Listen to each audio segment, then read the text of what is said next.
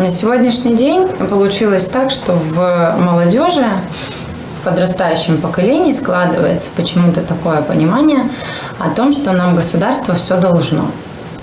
Нет, вам государство вообще в принципе ничего не должно, а вам должны ваши родители. Ну, потому что они вас родили. Государство их не просило вас рожать.